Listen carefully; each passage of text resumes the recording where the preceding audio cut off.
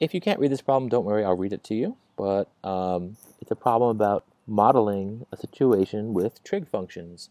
In the first paragraph, we're told at 11.55 p.m., Thomas ties a weight to the middle hand of a clock. The clockwise torque applied by the weight, i.e. the force it applies on the clock's hand to move clockwise, varies in a periodic way that can be modeled by a trigonometric function. So that tells us that we are going to use a sine or cosine wave here. The torque peaks 15 minutes after each whole hour. So we have a peak 15 minutes after each whole hour when the minute hand is pointing directly to the right at 3 newton meters. So our peak is at 3. The minimum is at negative 3, and that occurs 15 minutes before each whole hour when the minute hand is pointing to the left. Find the formula of the trig function that models the torque, looks like the tau symbol, applied by the weight t minutes after Thomas attached to the weight. Define the function using radians. So maybe pause the video, try it on your own, and then we'll solve it together. All right, so we've got to unpack this problem. And usually for me, that requires some kind of sketching or just writing things down to process what I'm reading. I, I have to reflect here that they say it peaks 15 minutes after each whole hour and is at a minimum 15 minutes before each whole hour. So before, I'm going to choose 1145 I chose that because it's close to 11.55 p.m. So 11.45, we know we're at negative 3. That's a minimum. But then at 12.15, we're again at a maximum. That's 15 minutes after, I guess, midnight in this case. We're at 3. And then, when will it go back down to the minimum? It'll go back down at 12.45. And that's at negative 3. And so on and so forth. Then, from this, I can see what the period will be. The period is going to go from this minimum over to this minimum right here. And that means our period is happening every hour. Period equals 60 minutes, right? It takes 60 minutes to go from one minimum to the other. Remember, that's the way the period works. You go from one max to a max or a min to a min. Okay, so that's our period. And if we sketch this thing out, we can see clearly what the midline amplitude would be. Oh, you'll need to sketch it. I recommend sketching because that will help you decide if you want to model this using sine or cosine. So right here, um, the tricky part, one, I mean, one of the many tricky parts is that they're telling us that uh, the whole process started at 11.55. So that is our zero point, 11.55 p.m. So then I'm going to mark here, because I know what happens at 11.45, 10 minutes before so negative 10, 10 minutes before 11.55. That's at a height of negative 3. Okay, so I can mark that. Right, there it is at negative 3.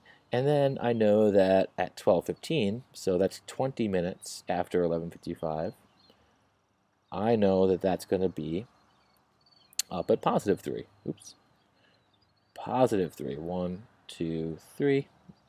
And notice it's, it's a rough sketch. I'm not being precise here because that would take too much time, right? You really want to just model this problem loosely. And then at 1245, that's uh, 50 minutes after 1155, so 30, 40, 50, we are back at a minimum here. So our wave is something like this. Now, you, I like to work with whatever data I'm given. I don't like to give myself extra work and I'm given this minimum, and I know this minimum is, at, is happening here as well. I know my period. I know my midline is at 0. It's halfway between 3 and negative 3. I know my amplitude is 3. That's the distance from a peak to the midline. So the only thing I want to think about is my phase shift. For the phase shift here, I notice that um, this point, I can work with this point. And I could work with this one too as well, it doesn't matter. Um, I'm going to use the 20 though, just that's what caught my eye. So I noticed that if I took, let's see if I can get this to work. I'll draw over this. All right. So if I drag that drawing over here, that looks a lot like a cosine wave, right? It comes down and dips back up, right? So if I had a cosine wave here, if I just wrote down that's right. So for this wave right here, I should use blue. Um, for this wave right here, just color code a little bit, I could say that y equals my amplitude is a, so it would be positive or negative 3, I'm going to try 3 for a moment, times the cosine of, well, the next number we often refer to as b, so I'll call it b, b equals 2 pi over the period. So 2 pi over 60 in this case, which is just pi over 30. So this is going to be the b value, which is typically written as 2 pi over uh, the period. And then parentheses again, times x. And then with your phase shift, a shift it's shifting. The next number I'm going to put in here inside the parentheses, that's my phase shift. It's going to shift our wave to the right from here to here. How far? Just focus on any point. I'm going to focus on this point, which is at 0. It's easiest to read. It goes over 20 to the right. So we subtract 20 to make that phase shift happen, right? Because here, or minus 20, that will now that will pull the wave essentially shift it 20 to the right. And then uh, now it's getting here. clear this off. So, and then finally we have our midline, which is at zero, so there's nothing else to write. Okay, this is our function. Now, um, I think it should work. We'll test it out in a moment. But in their notation, it would look like this.